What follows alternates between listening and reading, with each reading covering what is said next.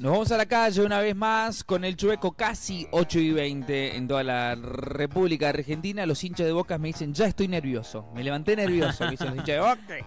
Eh, ¿A qué hora es el partido ahí? 19, 15 horas. Ah, tempranito. Sí, mate amargo y nervios. Nervios y mate amargo. Chueco, ¿por dónde estamos?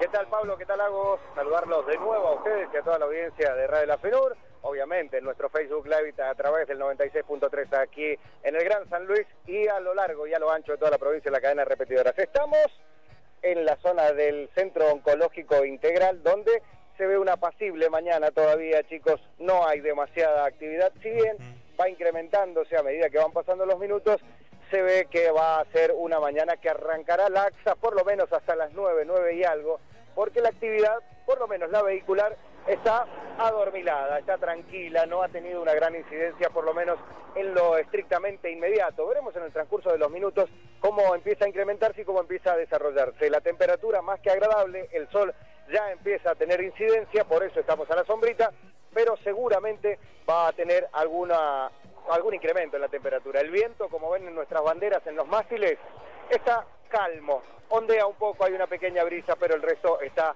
en absoluta calma, por lo menos en lo que estamos apreciando en estos minutos. Chueco, bueno, se ve una linda mañana, eh, se ve un eh, movimiento, no, no tanto como todos los días. El vientito, pregunto, ¿comienza a ser protagonista? ¿Cómo, cómo Pablo, perdón? ¿El vientito comienza a ser protagonista? ¿Quién va a ser protagonista? Si el viento comienza a ser protagonista. Por lo, por lo, por lo pronto, en el momento, de momento no. De momento no, está tranquilo. ¿eh? Por lo menos eh, en estos minutos que estamos apreciándolo. Seguramente va a tener algún incremento en la jornada del día de hoy, por lo que dice la REM, pero por el momento está tranquilo, así que igual hay que tener precaución los que circulan en bicicletas y motocicletas, por, bueno, hay algo de embancamiento todavía de arenilla que se está terminando de limpiar en la zona de los accesos. Bien, bien, bien, bien. Bueno, eh, Chueco, el movimiento nos decías poco, poco movimiento en los ingresos, en este ingreso de la ciudad de San Luis, donde viene mucha gente que, que ingresa, que viene desde Potero de los Funes, que viene desde, desde Juana Coslay, eh, desde esta zona, eh, que vienen ingresando a San Luis, algunos que viven allí en zonas aledañas al Ediro. Choco, ¿sabes que veo algo que me sorprende? Eh, me sorprende para bien. Baja velocidad de los que ingresan, Baja velocidad de los que ingresan. Eso es muy saludable. Quizás hayamos tenido algo que ver y ojalá que sea así, pero la velocidad ha disminuido considerablemente en ese sector. No porque haya un retén policial ni nada por el estilo. Estimamos que es eh, una cuestión de criterio personal de los conductores. Fíjense que abrió el semáforo y siguen viniendo con una velocidad normal, ¿no? Como debe ser y esto, bueno, salvo esta moto que viene un poco rauda, el resto viene con una velocidad tranquila como debe ser en un acceso a la ciudad que tiene semáforos también. Así que esto es saludable. Muy buena tu apreciación, la verdad que ha sido un cambio bastante importante. Sí, no, y también tener en cuenta que estamos en la, en la última semana de vacaciones porque ya la semana que viene eh, hacemos el cambio, las personas que van, que entran de vacaciones y también me parece que tiene muy mucho que ver. Eh, eh persona que está vacacionando, no está en la provincia, entonces ahora vuelve el lunes una parte y se va la otra. Seguramente, y también en lo comercial, estimamos que un 20, un 30% de los empleados de comercio deben estar disfrutando de sus vacaciones también y esto debe tener una incidencia en la disminución de la cantidad de vehículos que ingresan. Probablemente sea eso, Comparto tu apreciación.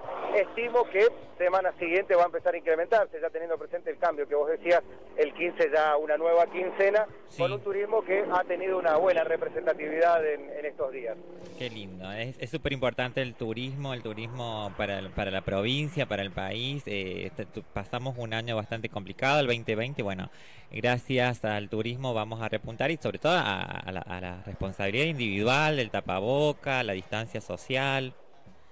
Claramente, bueno, esas son las medidas que ha pedido el coordinador de la Secretaría de Turismo y también los miembros del Comité de Crisis, dándole la bienvenida a los turistas que llegan a la provincia y también el turismo interno, que ha tenido también una incidencia considerable en, eh, nuestra querida provincia. Veremos cómo se desarrolla en la segunda quincena de enero y las dos quincenas restantes de febrero.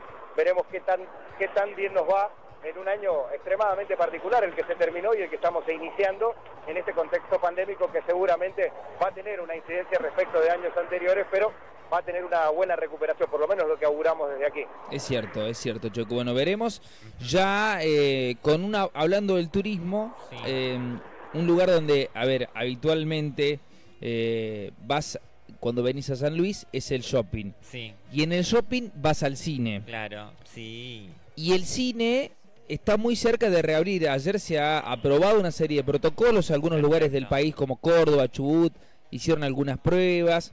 Bueno, eh, en San Luis están muy cerca y muy pronto de abrir los cines. Eh, algunos protocolos que se dieron a conocer ayer, bueno, en algún momento se hablaba de que no se iban a poder abrir las salas 3D. Claro. Sí se van a poder abrir las salas 3D.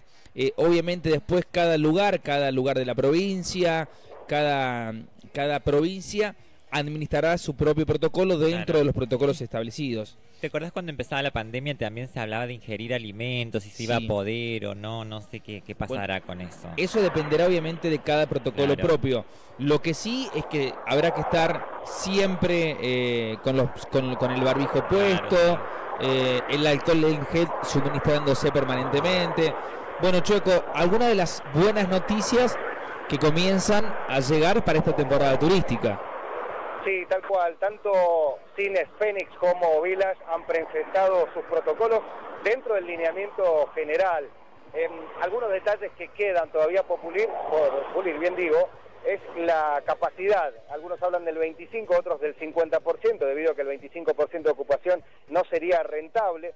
No obstante lo cual, lo decía ayer em, varios funcionarios de eh, Vilas Cines en comunicaciones a nivel nacional, que en algunas provincias, y nombraban a San Luis, se trabaja en la mayoría de las salas al 25% fuera del contexto pandémico, es decir, que salvo los estrenos absolutos eran los únicos que estaban a sala completa y esto podía darle una salida casi inmediata, ¿no? Em, por, otro lado, yo tengo que cerrar el, móvil de exteriores porque me acaban de informar de un último momento, si les parece chicos, voy, voy tomando posición por otro lugar. Nos encontramos en un rato, abrazo grande.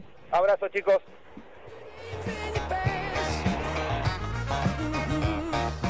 Chueco Paz se viste en Valentino.